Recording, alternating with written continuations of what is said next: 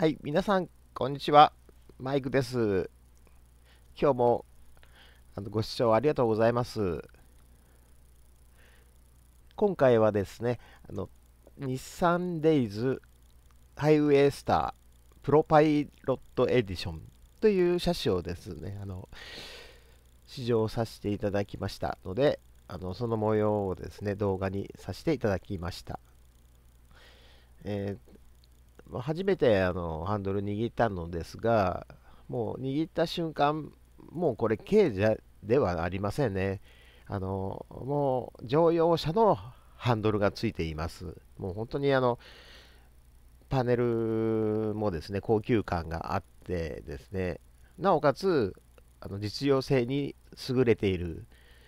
もうあの乗った瞬間にですね、あのもうこれは本気で作ってる車だっていうことが、あの、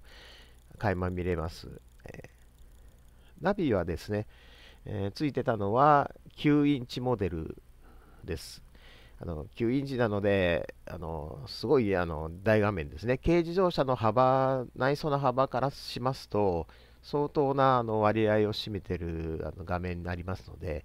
あのより大きい画面画面のような気がして、あのなりませんでした。はい。で、あの乗り心地はですね、やっぱり一番最初に思ったのが、あのこちらのモデルはあのブレーキモーターアシストをしてくれるハイブリッド仕様になっているそうで、あの出足が極めてスムーズです。あの音が全くしません。はい。で、スピードを上げていくとエンジンがかかるような形で、あのエンジンで走るという、そういうことみたいですね。えー、なのでですね、あの出足とかあの駐車場内で徐行してるときは、あの走り出し始めのですね、徐行してるときには、もうあのエンジン音みたいならしきものが全く聞こえてませんので、スムーズすごくスムーズにあのあの EV のようなね、あの感覚で走り出すことができます。はい。で、凸凹道もですね、主体が新品な状態だったので、ちょっと分かりませんでしたけど、あのまあ、相当あの振動が抑えられてて、あの車の中に入ってくる音ですね、パネルの方方から聞こえてくるあのロードノイズっていうのも、まあ、あの最近の軽自動車は皆そうですけども、あのかなり優秀な遮音性を保ってるように感じられました。でこのこちらのモデルは黒と白があるそうなのであの試乗させていただいたのは黒なんですけども内装のあのカラーリングですとかそのシートのパターンなどはあのこれがあのハイウェイスターの標準のあの仕様だということであのまあ、選択肢はありません。あのこういうあのご覧のような内容内内装になります。それであのちょっと私的にあの良かったなと思ったのはですねあのインパネのを前後前後に分けるとしてあの下の部分ですねもうすごくかっこいいんですよね形状が、え、これですね、あの BMW っていうドイツのあの有名な高級車メーカーがあるんですけども、そのなんか3シリーズですかね、その辺りのあのデザインをですね、ちょっとなんか真似てるのかななんて思った次第でございます。で、あのダッシュボードの前半は、まあ、よくあると言いますかね、軽自動車でよく見られるような、こう、可愛らしいデザイン。だから、男性的でもあり、女性的でもあるというですね、まあ、あの、話ちょっと変わりますけども、ミロのヴィーナスってありますよね。あれは前半はです、あの、あの前半じゃないですけど、あの、体の正面はですね、男性なんですよ。ですけども、後ろを回り込みますとね、あの女性のような背中をしてるんですね。えー、これはあの現地のガイドさんで、あの以前あのフランスに行った時にですね、あのそういうあのガイドを受けました、えー、なるほどなと思いました、ねこまあ、それも一つの芸術という意味ではですねデザインの芸術という意味ではですねこうあのそう男女折衷って言いますかね、え、新しいあの言葉をあのちょっと自分で考えちゃったんですけど和洋折衷ではなくて男女折衷っていうんですかね。男性的でもあり女性的でもあるようなもうこれ本気で作るとこういうあの車にのデザインになるのはもう、まあ、あの必須っていうかですね。そういうことでもうあの乗られると分かりますけどもあの非常にですね男性が日常を使うのももちろんいいですし女性が日常使うのももちろんあのマッチし、まあ、マッチしてまして、えー、なのであの気兼ねなくですね老若男女あの使っていただけるようなデザインになってますね。これも本当にあのエクステリアももうさることながらですね、最近の日産はですね、あの相当意識してますね。えー、まあ、国内ののユーザーにちょっと冷たいんじゃないかっていうような、そういうシャシ構成になってにもかかわらずですね、このデイズに関しても、あのセレナに関してもですね、あのノートに関してもあのエクストレイルもそうですけども売れてる車っていうのはやっぱりあの実績を残してる車実績を残している車っていうのはですねやはり共通した何かをこう引きつけるような人を引きつけるようなですねあの何かを持ってるのかなってこれは車の性能だけではですねあの得られないことなのでもうやっぱりデザインっていうのはそのどやその本気度がですねやっぱりあの見え隠れするという、そんなようないいあの例ではないかななんて思いました。しかしですね、あのあのスイッチ類が非常に多くてですね、やっぱり多機能ならではのあのレイアウトになっていると思いますけども、非常にですね、あのスイッチが多いです。はい、細かいところにいろんなこうコンビニの袋を引っ掛けたりするところですとかね、大型のアームレストですとか、あのシートがですね、あのベンチ、フロント側にベンチシートになってたりですとかね、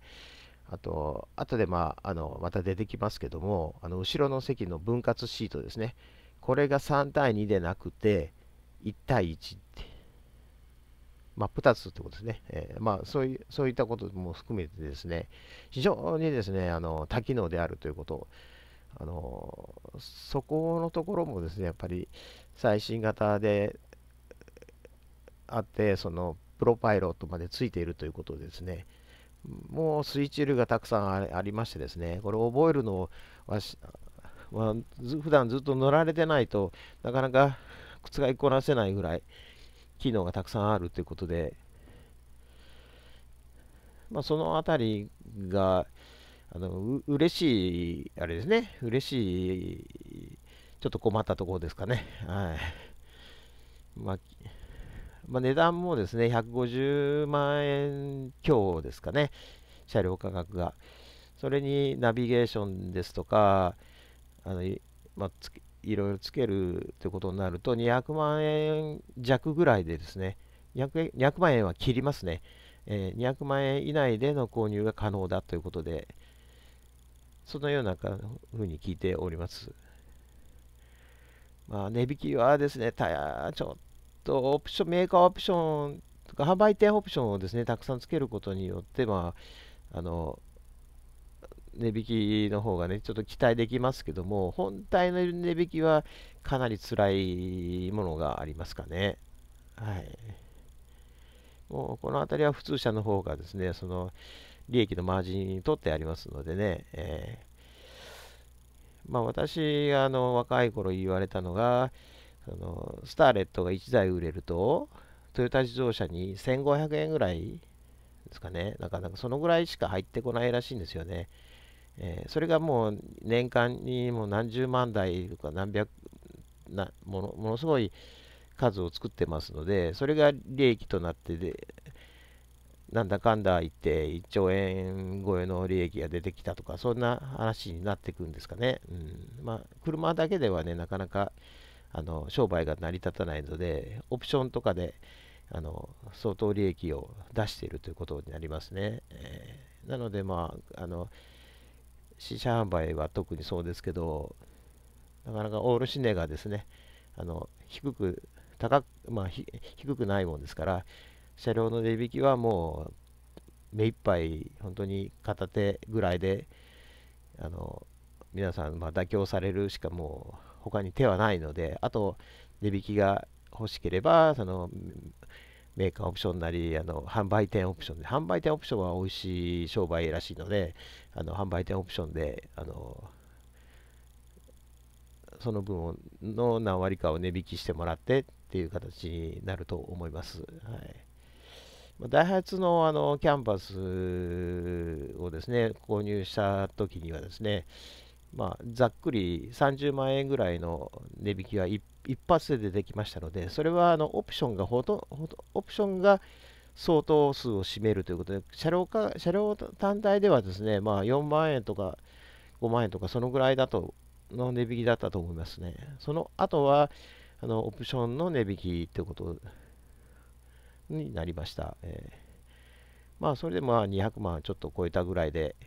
あの落ち着いたんですけども、まあ、今の軽自動車でそこそこの装備のものを買うと、200万円ぐらいっていうのはもう、このデイズ、デイズ、デイズハイデーウエスターでってことでなるので、もうこれがですね、あの、あの今後出てくるルークスですよね。あのスライドドア版バージョンですね。ルークスになってくると、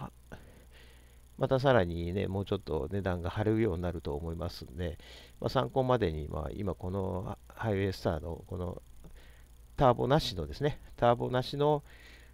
プロパイロパイロットエディションで200万円をちょっと切るそそういうようなあの感じみたいです。はいまあ、実際の購入価格はですねあのオプションによってオプションの付け方によって変わってくるはずなので、まあ、あのあくまでもそのディーラーの方の一発目の表示、あの、あの回答がですねそ、そういう200万は切りますよっていう、そういう回答でした。はい、で、あの、撮影していたですね、夏美があの、この動画撮影してたんですけども、あの夏美が言うにはですね、あの後ろの席が非常に広かったっていうんですよね、足元が。えー、あのこの手のタイプの車というのは、あのどうしてもですね、あの後ろの移住性をですね、あのあののことはですね、やっぱコスト的にはね、省いている方向に舵を取っていると思うんですよね。あのルークスにのハイトワゴンのようなね、ルークスとか、後ろの席でがあの広々してるっていう、そういう売り物売り物ですね。そのあの車としてのそのセールスポイントをですね、そういうあの掲げているようなルークスやなんかは、あの広くて当然なんですけども、このデイズクラスですと、後ろにはさほどそんなに人が乗ることないくて、まあ、2人で、まあ、あの乗られる方が多い、1人か2人っていう、そういう少人数でのあの用途の方がよく選ばれるはずなんですけども、後ろの席がですね、あの足元すごく広かったということで、あのもうこれ大型のセダンのをもうしのいでるんじゃないかなっていうような、そんな雰囲気さえするようなあの足元の広さがありますので、あの予算的にですね、ルークスはって、ルークスはちょっとっていう方はですね、このデイズでですね、あの全然あの使い勝手としてはね、スライドドアを除けばですね、あの満足いくものになってるんじゃないかなっていうふうにあの思いました。はい、でこれもあの装備もすごいですねあの、アラウンドビューモニターもありますし、えー、で SOS アラーム、何かあのそういうあのセキュリティシステムがまた新しくあの追加されてるそうなので、これもですね、日産のディーラーの方でですね、じあの実際あの、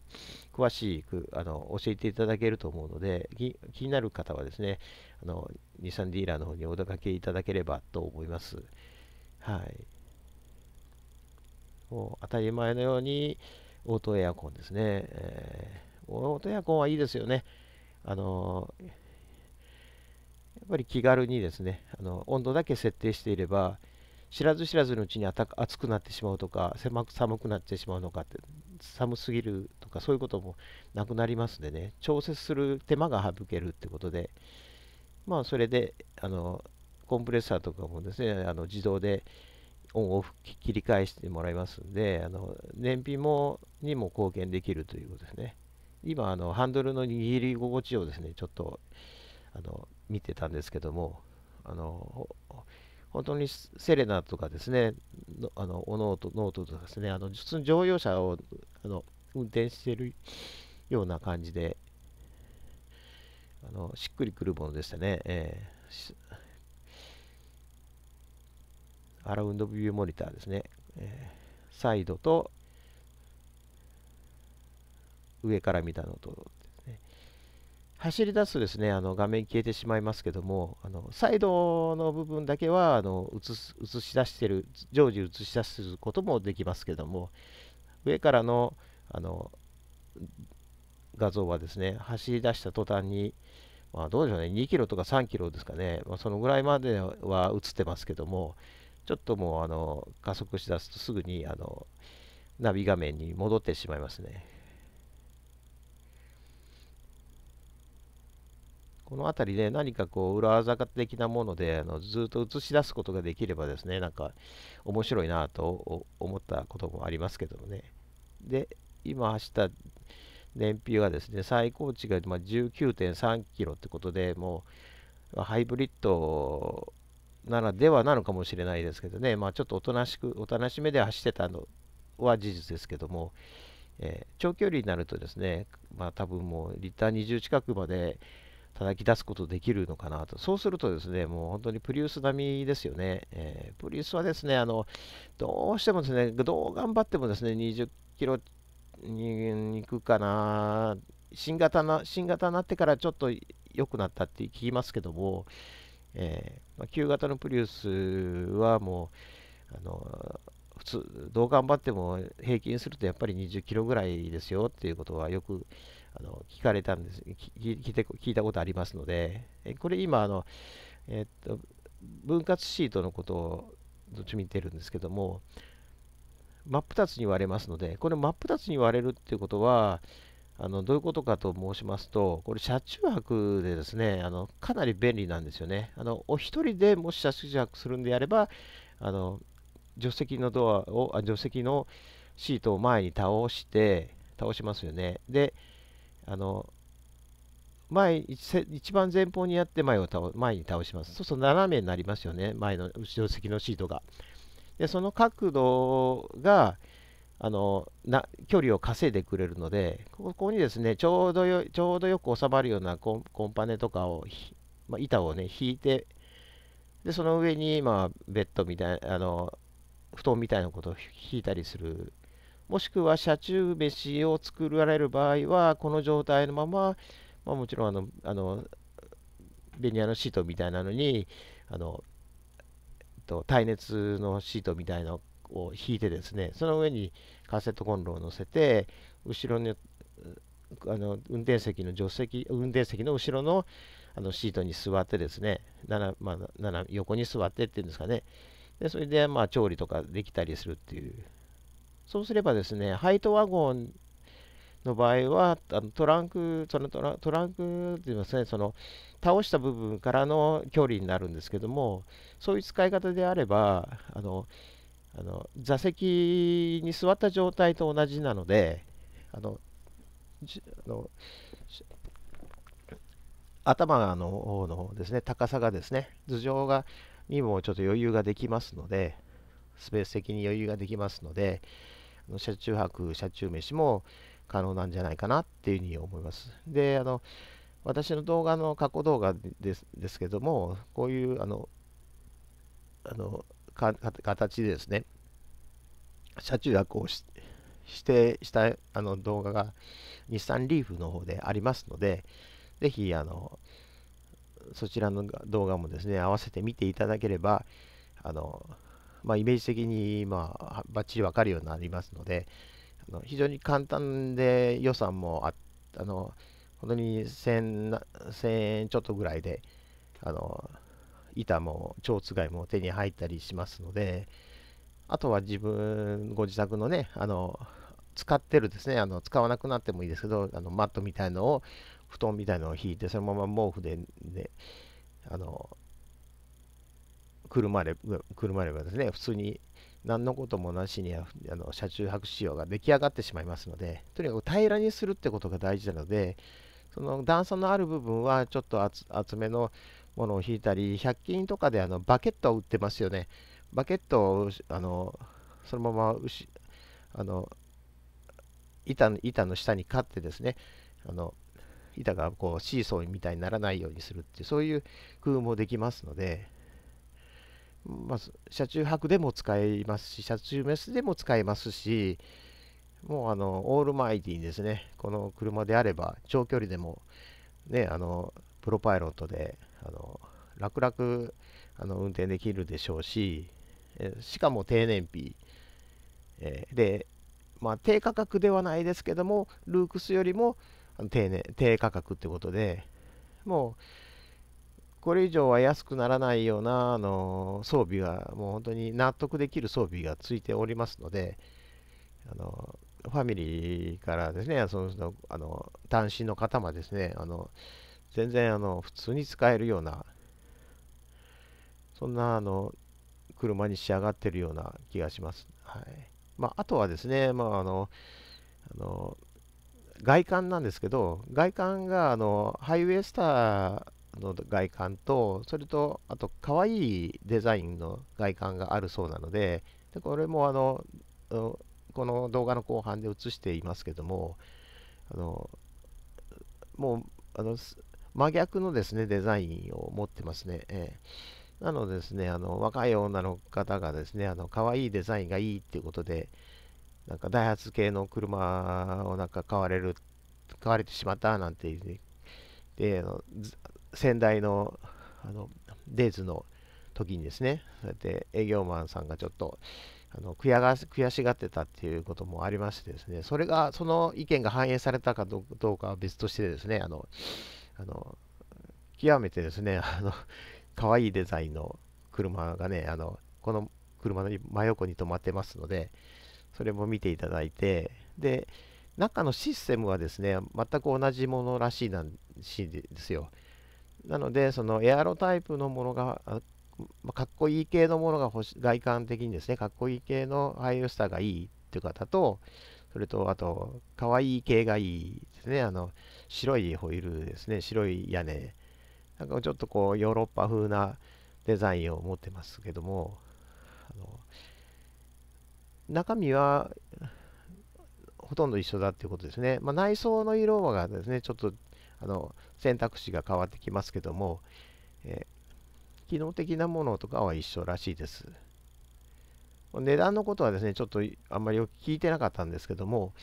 えー、まあそんなにそのハイウェイスタイよりはもうず余分な余分に跳ね上がるってことはそうないはずですので、えー、まあ、あとはもう形が好みあデザインが好みかどうかっていうところで、あのお決めになられればいいかななんてそんなようなことをあの営業マンの方もおっしゃってました。でそんなわけですね。あの今回はあの日産デイズ新型日産デイズのハイウェイスターノンターボですね。ターボではないタイプをあの試乗させていただいてですね。あのちょっとあの思いついたことだけなんですけども、申し訳ない。あの、専門的なことはちょっとわからないんですけども、思いついたことだけをですね、ちょっと、あの、まとめさせていただいて、自分だったらこういう使い方ができるかな、自分かだったらこういうカーライフが、あの、楽しめるかななんてそういうことそんなことをですね想像しながらですねあのまあ、マイクの目線でですね、はい、あの独断と偏見ですけども、で今こう喋っててもあのカタログとか何もその資料を全く用意してないのであのこの何何何メートルで高さが何メートルでっていうことはちょっとわからないんですけども。